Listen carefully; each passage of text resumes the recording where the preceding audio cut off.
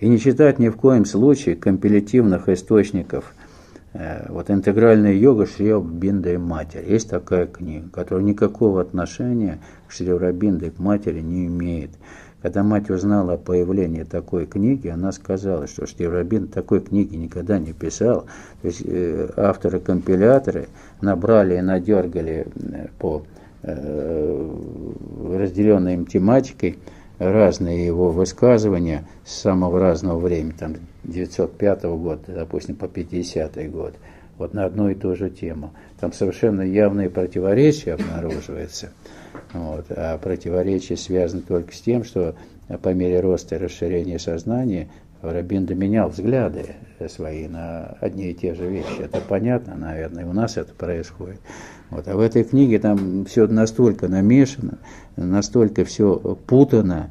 Э, вот когда я читал, мне она в какой-то степени помогла, потому что я там сразу все разделял и кое-что, так сказать, брал действительно как некий опорный момент в своей работе. Чтобы это, Но если вы не прошли э, путь, если вы не открыли духовное око, которое способно отличать, э, так сказать, вещи, э, которые на самом деле должны быть приняты внимание, которые надо фильтровать, то это будет большая беда. Большая беда евангельские тексты, Бхагавад-гиту без комментариев, э, Алмазную сутру, трактат Лаудзи Дауда Цзин в хороших переводах Маслова Лиян Хиншуна. Это нужно читать, нужно читать. Это действительно родниковые источники, которые э, вам помогут, э, помогут очиститься от Э, наносного от вибраций деструктивных, которые у вас присутствуют, и не заразиться ничем, так сказать, э, что могло бы повредить вашей дальнейшей работе на пути. Ну, Ширабинда я рекомендую мысли и афоризмы. Вот его раннюю работу, она достаточно интересна, э, но более позднего взгляды на те моменты, которые отмечены в мыслях и афоризмах, они ну, достаточно разнятся. разнятся. Раньше я рекомендовал Агни-йогу и Розу Мира Андреева, теперь я сначала их не рекомендую. Потому что люди, которые пытались читать это с самого начала, либо грязли в этом материале, либо получили отвращение какое-то определенное. Ну, с Агни-йогой там отвращения нет, но там можно попасться на иерархиях, на каких-то там водителях, э, чего-то, на посредниках. Там элементы магизма достаточно откровенно, так сказать, они э, нескрываемо совершенно не вуалируются, э, декларируются. Это Нежелательное чтиво, нежелательное. Подождите до какого-то момента. Вот я порекомендовал одному человеку, который ну, где-то лет пять идет по пути сознательной эволюции, основательно проштудировать Агни-йогу, он ее проштудировал и вынес оттуда, что нужно вынести. И отфильтровал все ненужное. А если с раннего э, э, этапа это начинать, то э, там можно запутаться серьезно запутаться. Теперь о самом процессе чтения. Процесс чтения рекомендуемых источников должен быть только медитативным. медитативным. Что это означает? Вы должны читать текст, не включая ум, не включая аппарат мышления, не полемизируя с автором, не споря с ним, не сравнивая прочитанное с тем, что вам уже известно по этому вопросу. То есть ум должен молчать, вы просто читаете. Для этого, эти для этого и рекомендуются вот, родниковые чистые источники, э, чтобы вы э, по этому поводу без сомнения, э, вот, без боязни повредиться, в них погружались. Понятно, наверное. Вот. Ну, если вы скажете, что таких не существует, а вот там еще какие-то есть, еще какие-то есть, то о чем тогда с вами говорить? То есть вот эти рекомендации должны быть э, вами услышаны, с чего нужно начинать и как нужно читать. без внутренней полемики. Наша задача при медитативном чтении – открыть внутреннее око, то есть читать научиться надо душою. Многие читают глазами просто, кто-то читает эмоционально, кто-то читает аналитически, умом, но практически никто не читает внутренним оком, не читает с участием души. А вот наша задача именно научиться так читать, чтобы ложь и всякие, так сказать, деструктивные вещи э, были хорошо различимы. Э, потому что душа, она видит все, видит в целом, видит все в деталях и э, все целиком. Это ну, свойство такое у нее. И мы должны научиться именно этим местом читать, читать именно этим местом. Для этого мы без эмоций, без ума, э, в полном внутреннем молчании читаем родниковые источники истины. Именно вот эта работа и пробуждает внутреннее око. Не только пробуждает внутреннее око, но еще и э, это действие позволяет нам связаться с нисходящим потоком. Вот этот нисходящий поток и внутреннее око наше и просветляет, дает возможность проявиться вот этому внутреннему, э, вот абсолютно правильному, что ли, цензору, который видит все прочитанное, Э, так, как оно есть на самом деле. Естественно, что э, к истинным источникам, источникам высокой пробы следует обращаться не один раз. Э, каждое последующее прочтение открывает все новые и новые, доселе скрытые глубинные пласты этих текстов. Особенно наглядно это проявляется при повторных прочтениях спустя ну, длительное время после первого прочтения – Э, или после последнего обращения к тексту, тот же текст, те же самые буквы, те же самые слова вы видите, те же самые выражения, а смысл порой видите совершенно иным, иным, чем представлялся ранее. С ростом и расширением вашего сознания меняется способность восприятия текста. Это говорит о том, что пробуждается у вас внутреннее око, и оно видит все э, ну, с течением времени, ну, не то, что абсолютно по-другому, но э, глубже, шире, и некоторые моменты, ну, и по-другому вовсе видятся. Но если говорить о э, художественной литературе э, для медитативного чтения, вот мы рекомендуем прозу Ивана Сергеевича Шмелева, вот его «Богомолье» и, ну, еще говорить. Лето Господне, да. Вот. Это потрясающая медитативная проза, действительно удивительная проза. Вот. Пришвин Михаил Михайлович, Женьшень, Фацелий, вот его вещи, которые действительно погружают нас э, в мир тонких наблюдений, вот, э, окружающей э, нас природы. Это тоже медитативное чтение, это дает нам возможность ассоциированно воспринимать вот, свои переживания – тишине, вот, э, э, пребывая наедине с природой. То есть отклик и отзвук э, именно на уровне души получается. Александр Васильевич, а вы цените Платонова? Вы, как а? вы цените Платонова, это можно его Знаете, Платонов это дело вкуса. Вот я разговаривал с женщиной, которая меня очень благодарила, что я открыл для нее Платонова. Я не открывал, я просто посоветовал. Так она вот каждым его предложением, она просто говорит, это вот что-то фантастическое. Просто фантастика. Вот каждое предложение. Ну, я не рекомендую это всем, потому что я многое вот из художественной прозы в свое время проработал еще до становления на путь, там и поэтические всякие вещи, много чего было.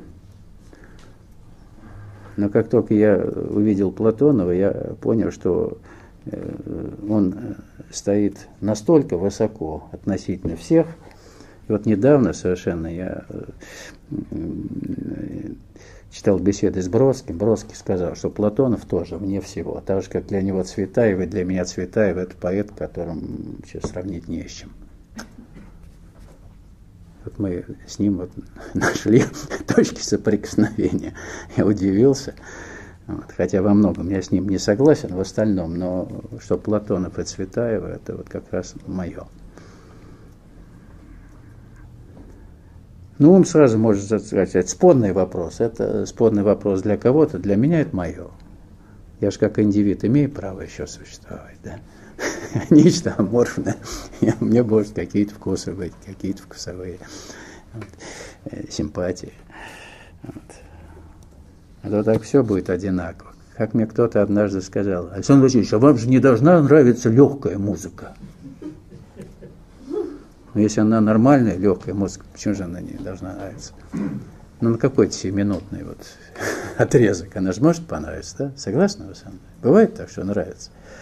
То есть вы, если она вам понравится, вы не будете молить Бога, э, что грех вот в вас вошел, что бесы вошли, что вам понравилась вот легкая музыка. Не будете, нет? Ну и ладно.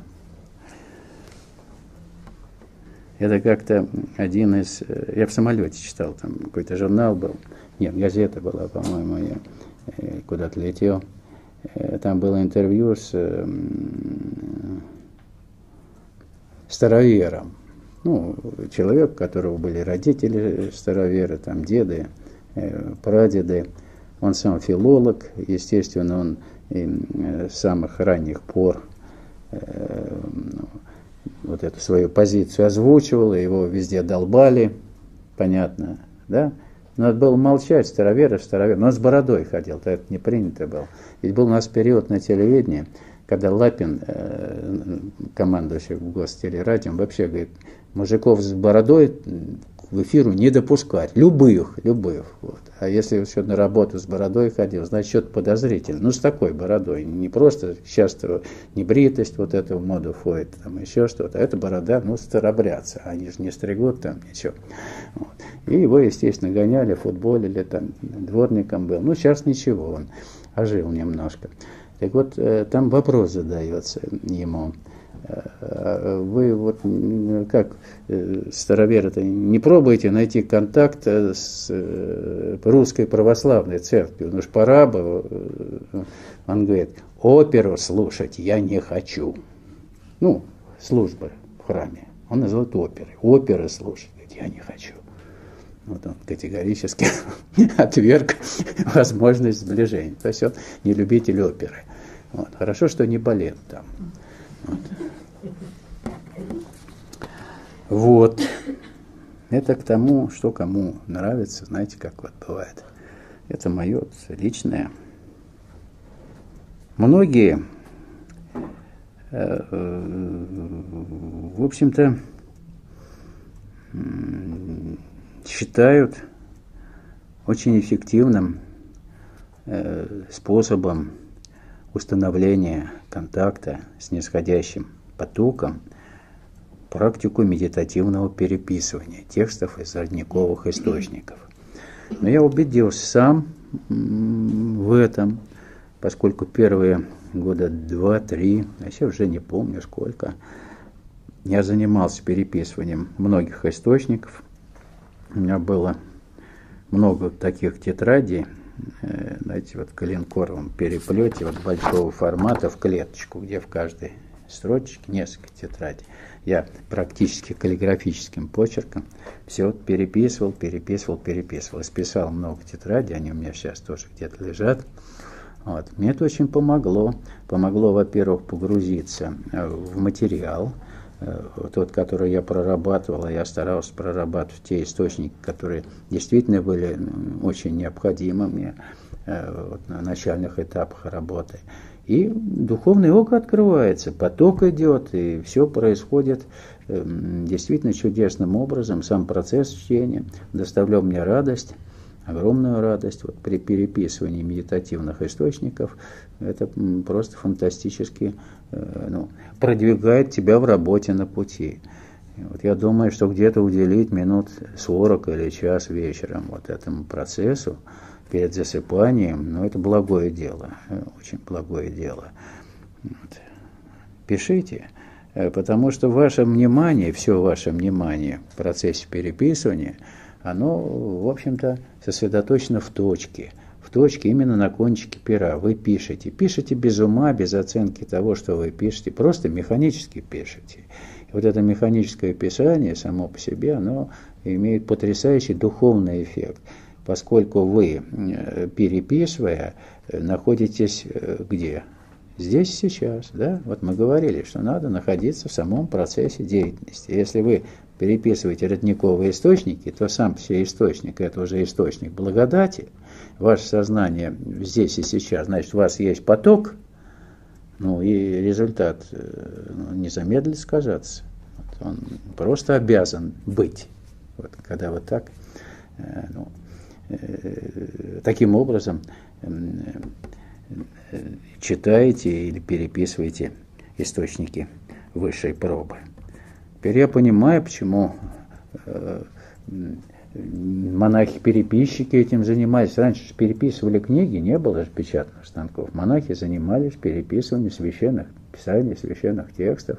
Это, безусловно, им помогало вот тем, кто именно этим занимался. Не колол дрова, хотя колоть дрова тоже, если ты в реальном времени здесь сейчас, тоже медитативный процесс. Все, э, так сказать, зависит от того, где вы находитесь в процессе выполнения, там, колки дров или переписывания или чтения, где ваше сознание. Если оно здесь сейчас, значит, все в порядке. Если оно э, ну, где-то витает вокруг да около, то тогда чем бы вы ни занимались, э, священные писания читали, переписывали их, это ни к чему хорошему не приведет. А что осваиваете медитативное письмо, это великая вещь. Очень важным аспектом сознательной дисциплины является контроль за попытками стать на путь осуждения людей за их слова, за их поступки. Вот, э, осуждать людей, обсуждать их поведение – это очень вредное занятие. То есть вы здесь должны четко для себя определить, что этим заниматься, заниматься крайне вредно. Для незрелого сознания э, крайне вредно в любой форме обсуждать поведение людей. Вот. Где-то я даже недавно прочитал, Паисий Святогорец сказал – Э, вот, э, что даже само э, вот выражение ты, говорит, не вмешивайся, Бог его накажет, это уже ну, элемент осуждения. Ты, говорит, не вмешивайся, Бог его накажет. Это уже мягкая форма ну, какого-то суда над человеком. Может, Бог его не накажет. Правильно? Может, он тебя накажет как раз в первую очередь за то, что ты так сказал. Вот, понятно, да? Вот есть некие тонкости. Мы иногда вот так вот изворотливо пытаемся как бы вот эту э, свою форму осуждения э, удобоваримо преподнести, э, но следите за этим, следите за этим, потому что это очень нехороший аспект, когда мы говорим такие слова. Во-первых, если мы кого-то там пытаемся осудить или обсудить вот поведение, чье-то поведение. Во-первых, это просто бесполезное занятие, а во-вторых, занимая ум пустой проблемой, вы блокируете нисхождение энергии. А в-третьих, до тех пор, пока вам неведомы причины того или иного поступка человека, вы просто не имеете никакого права его осуждать. А вот когда вы становитесь Э, человеком прозорливым, вы понимаете причины, побудившие человека так поступить, тогда и надобность в осуждении просто отпадает. Просто каждый человек имеет свою правду в том состоянии сознания, в котором он совершил тот или иной поступок. Вот это надо помнить. Поэтому бесполезно этим заниматься осуждением и обсуждением поступков людей. Это очень важный аспект вот именно сознательной дисциплины. А когда ваше сознание кардинально изменится, вы будете способны видеть причины, еще раз вот повторяю, побудивший человек совершить тот или иной поступок, вы осуждать естественно, не будете. В лучшем случае вы можете э, просто, не для выноса вовне, где-то бессознательно констатировать факт в себе, в себе, что-то отметить. Вот. Когда у вас не возникает даже импульса к осуждению, то вы уже другой человек, э, которого не будут осуждать и другие люди. Как Иисус говорил, не судите, да не судимы будете. очень важный компонент сознательной дисциплины – это отношение к себе и к своим собственным поступкам и мыслям. Зачастую, особенно на начальных этапах работы, вы автоматически по привычке способны совершать поступки, которые ну, обычно относятся к разряду греховных, там, ну, не слишком, уж не сметный грех, но все-таки, да.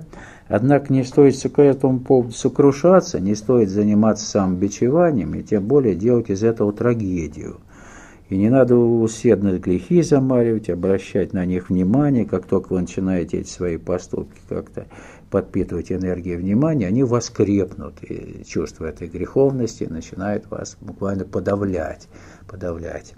Вот. Это очень нехорошо, не надо поддаваться унынию э, и чувству тотальной греховности, мгновенное осознание факта, мгновенное раскаяние, что ли, вполне достаточно, чтобы нейтрализовать кармические последствия. Наблюдатель всегда должен находиться на страже, осознали, поняли, что вы не правы, э, все, больше к этому не надо возвращаться.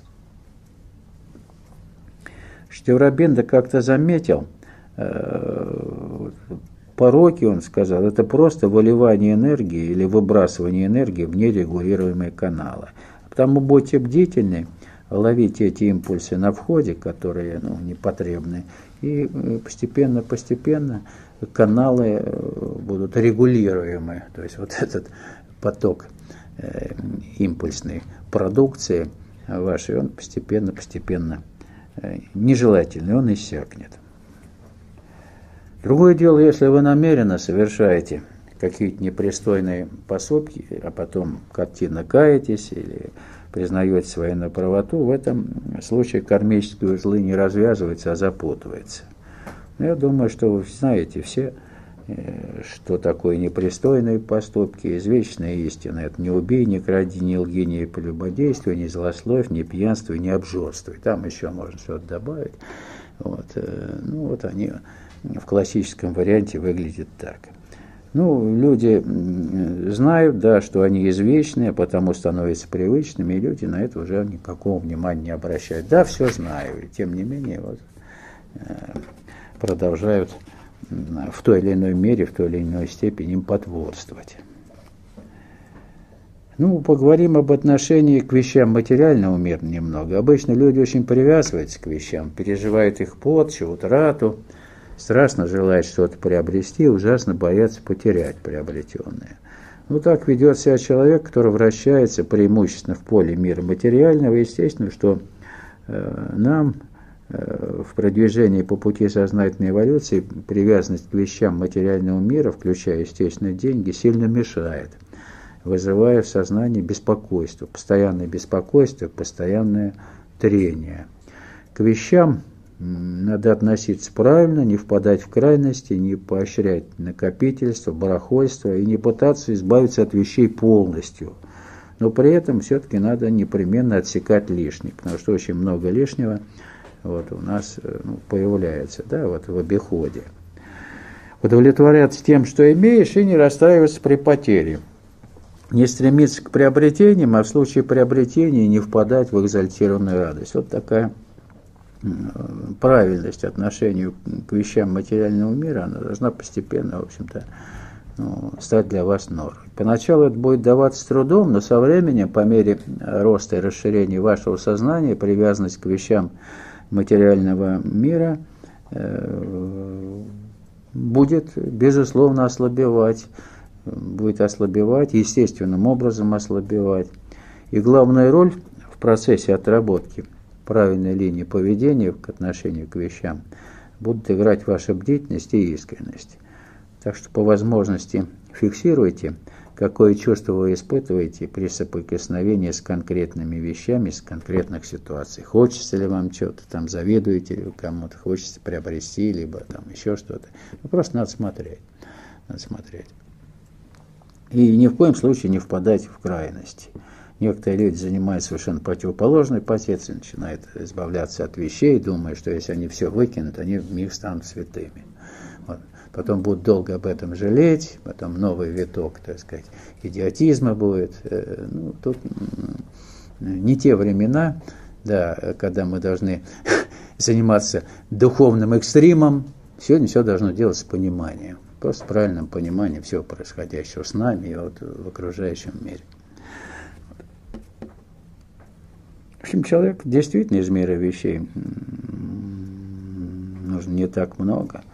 Поэтому в доме, наверное, смотришь, сколько хлама скопилось, думаешь, когда-нибудь там на случай войны раньше говорили, может быть, что-то одеть, да, там, вынуть из сундука. Вот. Много глупостей вот мы тоже делаем в части приобретения.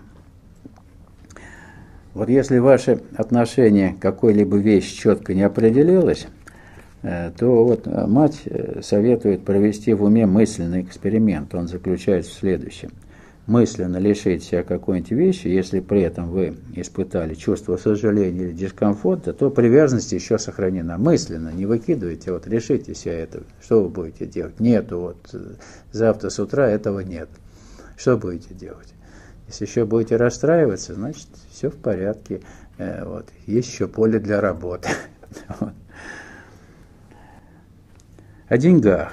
Штеврабинда определяет деньги как видимый символ универсальной силы, которая проявляется и действует на витальном и физическом плане сознания. Безусловно, это сила. Сила денег есть, и вот на этом плане сознания, на физическом и витальном, на этих планах сознания они имеют силу. И вот он говорит следующее по этому поводу. По своему происхождению в истинном своем действии она, эта сила, сила денег, принадлежит божественному. Но подобно другим силам божественным, она не спослана сюда и в невежестве низшей природы может быть захвачена человеческим эго для собственных нужд или попасть под влияние асуров, которые искажают ее в соответствии со своими целями. Поистине это одна из трех сил – власть, богатство и секс – что обладает наибольшей привлекательностью для человеческого эго и для асура. В большинстве случаев с этими силами неверно обращаются, ими злоупотребляют те, кто имеет с ними дело. Те, кто стремится к богатству или обладает им, гораздо чаще его рабы, чем владельцы. Вот. А вот как мать э, высказалась о предназначении денег, она замечательно сказала – она сказала, что предназначение денег в том, чтобы приумножать благосостояние, материальное процветание того или иного сообщества, страны, а в высшем смысле всей земли. Деньги – это средство, сила, энергия, отнюдь не цель как таковая. И как любая сила, сила денег возрастает и приумножается, когда она движется, когда она циркулирует, когда находится в обращении, используется в деле – они, когда ее накапливают и хранят без дела, без движения, вызывая ее застой и омертвение. Ну, деньги это, в общем-то, э, ну, наверное, кровь антихриста, да, что ли, если на сегодня говорить. Вот они трамбируют все жизненные сосуды, могут затрамбировать вот всякие дефолты и прочее. Ну, вот это как раз вот та сила, которая э, во власти асуров находится сейчас, да, кто-то их печатает, кто-то э, думает печатать, но побаивается. Ну, вот это вот асурическая сила сегодня, деньги, безусловно.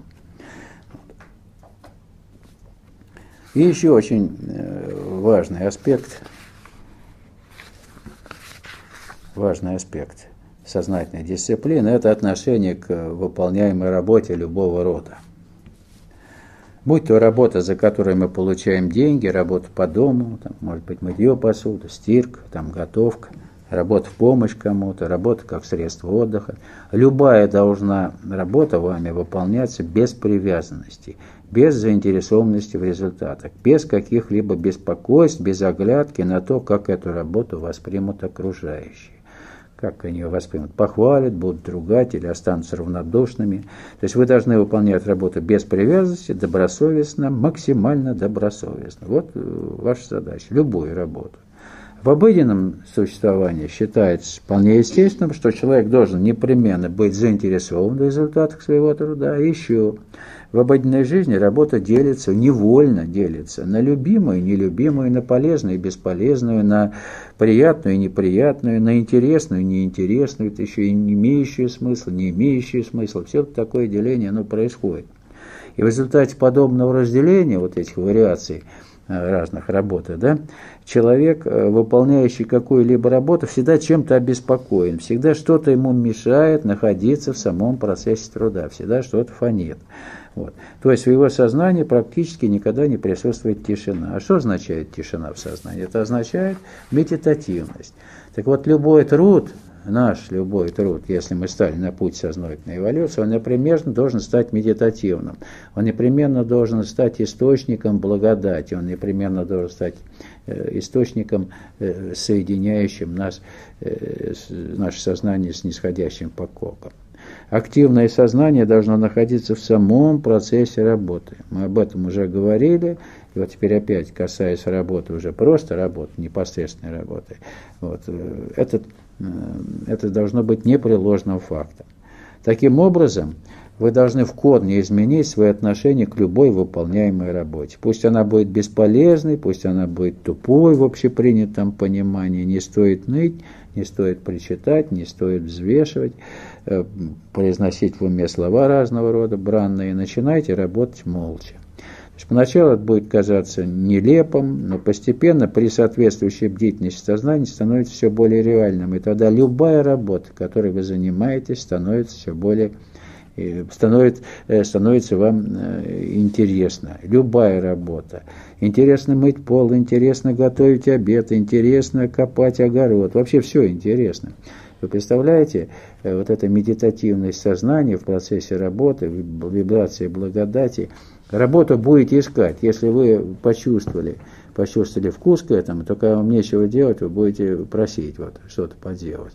Вот как только это у вас действительно проснется, и вы будете любую работу выполнять с радостью, вот без привязанности, а просто э, сам факт работы, вот пребывание в процессе работы будет доставлять для вас радость, это уже огромное достижение в работе на пути.